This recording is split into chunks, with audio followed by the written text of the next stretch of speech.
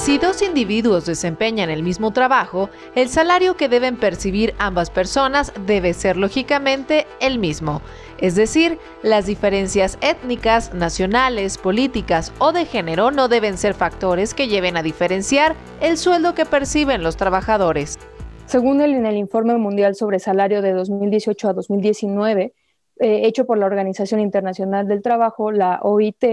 en la escala mundial las mujeres percibían un salario del 20% inferior al de los hombres y en el caso de, México este porcentaje era de 15.6%.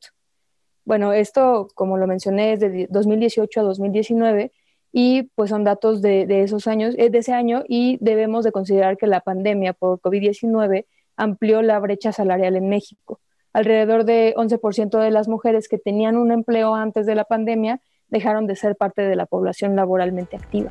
México es actualmente uno de los países con mayor diferencia de sueldos entre hombres y mujeres. El INEGI muestra que 7 de cada 10 trabajadoras en México se ocupan por menos de dos salarios mínimos, mientras que los hombres la proporción es 6 de cada 10. Tener un, salario menor es, es indicador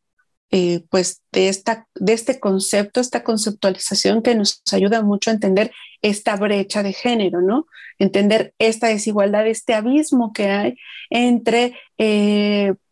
estar y aparecer en el mundo y en la sociedad con una identidad de varón, a diferencia de estar y aparecer en el mundo con una identidad femenina.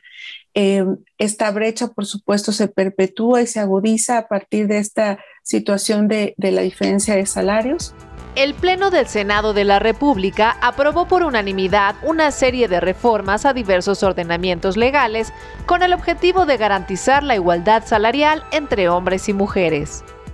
Este es un dictamen muy esperado, no solo por las senadoras y senadores que en esta legislatura han presentado iniciativas en la materia, sino por millones de mujeres trabajadoras y activistas del movimiento feminista, para quien ha sido central en su agenda la erradicación de la brecha salarial entre mujeres y hombres como una de las vías fundamentales para el logro de la igualdad en el ámbito laboral. La iniciativa de los legisladores busca la modificación de 14 leyes federales, introducir por primera vez el concepto brecha salarial de género y contemplar multas para las empresas que no garanticen la igualdad retributiva.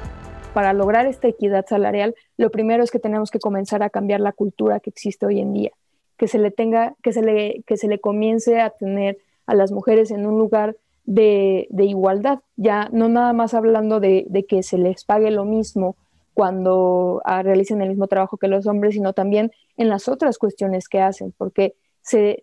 tienen estadísticas muy altas de la cantidad de mujeres que empeñan sus horas libres en tener este, las labores de doméstica.